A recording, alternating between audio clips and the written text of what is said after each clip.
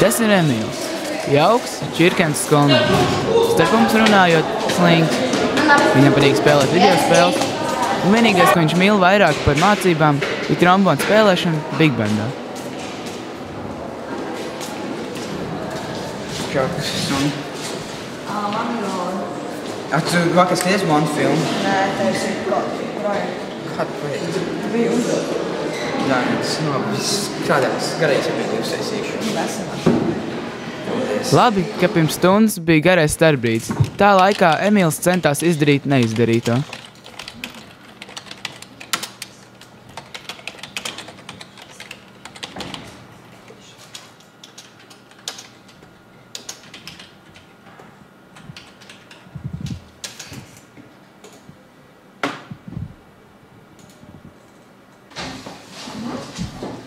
Emīl, lūdzu, tavu kārtu. Um, es projektu esmu izsētis, iesūtīs jūsu ēpastu.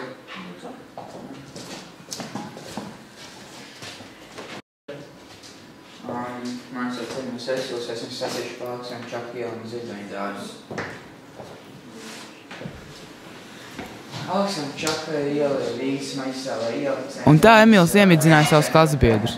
Vārdu pa vārdam lasīdams visu, ko bija nokopējis no Wikipēdijas. Izklausījās, ka pats tekstu las pirmo reizi. Marijas avotu un Valmaņu ielas uzsvērumi beidz pie Zertāna pārveda pār Rīgas Lugaužu dzelzceļa līniju. Ielas kopējais garums ir 2040 metri un tās sastāv no četrām neapdalītām braukšanas josām. Krievijas impērijas laikā iela skrienosās par Baltijas ģenerāla gubernatoram Aleksandram Suvorovam 1990. līdz 1940. gadu gados. Jūs nosaukums bija Marijas iela mūsdienas valsts mūsdienās tas atņemams tikai ielasams posmu līdz avotu ielai. Attīstības sabiedriskais transports. Valēsam Čaki iela, kuras ir vairāki autobusi un trolejbusi maršruti. Vietā maršruta autobusi, kurš tā, tās ir daži vilks un dziedāņdārs. Tur ir tā kā karte, tur, nu, jā, tur ir dziedāņdārs un kaut kāds kapis, laikam. Tas tā ir strūkot, kas ir tagad tie dziedāņdārzā. Tur ir basketbolisti un tā ir veca bildes dziedāņdārs. Jā. Paldies, Emīl. Vai ir jautājumi, lūdzu? Vai es vispār zinu, ka tas, nu, kur tas piemineklis ir Zilīdārzā? Kurš? Nu, tas, tas tur, kur tu teici. Čaki? Jā.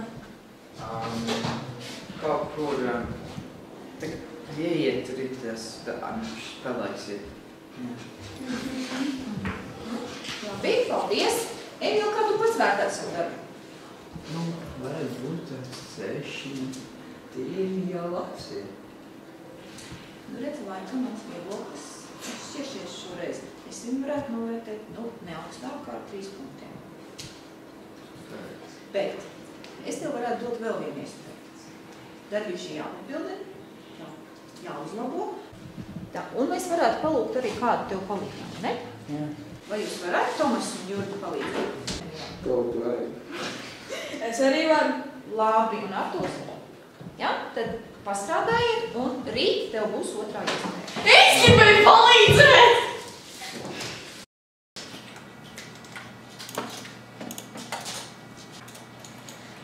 Jā, es, nu, es cik, te laikam vajag to, ka viņš nav Wikipēdijas kaut ko vēl ielikt, nu, zin kā, teksts vajag maz. No, no. Nevar tekstu no interneta nokopēt viens pret vienu. Mēs to pašu varam atrast un izlasīt. Aizies bibliotēku. Grāmatas prīgi pastāv. Tur ir. Nu, pieci.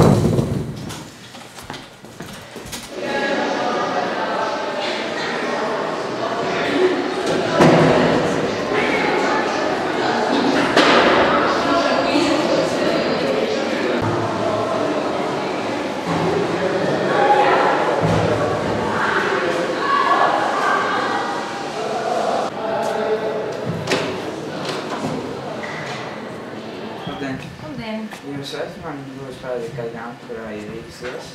Uh, tās man ir šeit. Paldies. Jā.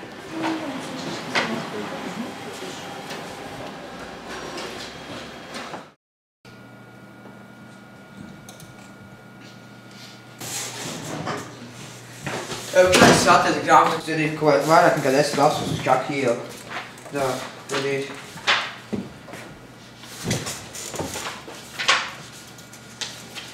O, reku ir. Tev tur arī bija jāraksta skolas apkārtne. Pasties skolas, skolas mājaslapā, kā vismaz mūsu skolu uzcēl. Nu, man liekas, ka ir visi atrasti, no kur tiek kāds PowerPoints. Nē, taisam Google dokumentu. Man, tā, kur tas ir Ies skolas e-pastā un atver saiti dokumentu. dokumenti, ok, tā.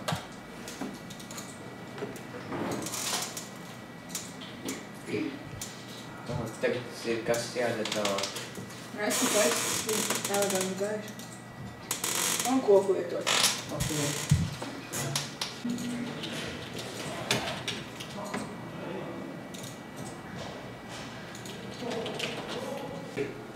Mums tāds miroņu krāsas, tur lietas salēc kaut kāds spilgtāk.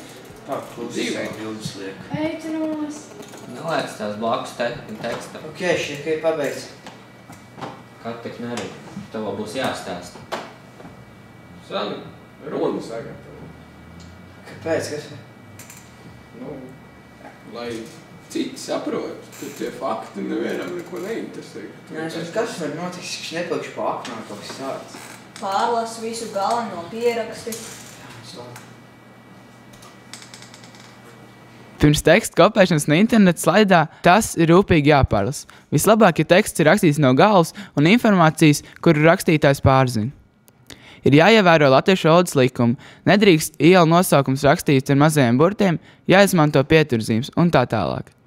Teksta daudzumam jābūt salīdzinoši īsam, ar saturīgu tekstu, bet īsu un konkrētu domu. Standarta teksta izmēri ir 48, 32 un 24. Vienā prezentācijā parasti izmanto ne vairāk par piecām krāsām, un ir jāizvairās, lai tās nebūtu pārlieku spilgtas. Attēliem jābūt par tēmu, un labi būtu, ja tie nebūtu vairāk par vienu, divām bildēm slaidā. Labi, Emīl, vai tu šodien esi sagatavojies? Jā, Jā, lūdzu. um, es darbojos Microsoft, jūs neesat. Jā, nāc atpērst.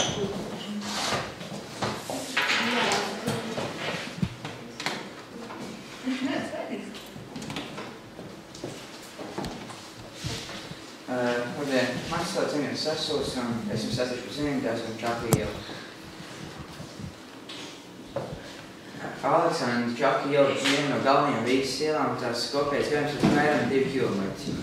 Krievijas impērijas laikā tā nosaukt par godu Baltijas gubernatoram uh, Surlorovo.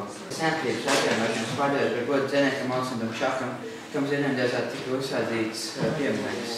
Čak, šī rādīsē Čaku iela var redzēt, ka tajā laikā par to vēl kursē tramvaju. Ziniet, tas atzīst Elējas, Cirpti dzīvžogi, sūkaka un bērnu roķeļu laukums un iela basketbola laukums. To aptver Klausām Čakiela, Matīs, Spārgaļiņa, artilērija ielas. S- Sākotnēji parkā auga degaļa artilērija redzams fonā. Rožlaukums priekšā kā ir sieviete ar bērnu, acīm redzot. Šis ir Zedendās 30. gados, un šajā apvidū pašlaik ir mū, atrodas mūsu skola. Mūsu skola, kas atrodas blakus Zedendāzam, būvniecības laikā. Tas, kas man vies pirmajā gadā. Paldies par uzmanību. Paldies, Emīl. Vai ir kādam kāds jautājums, Emīlam?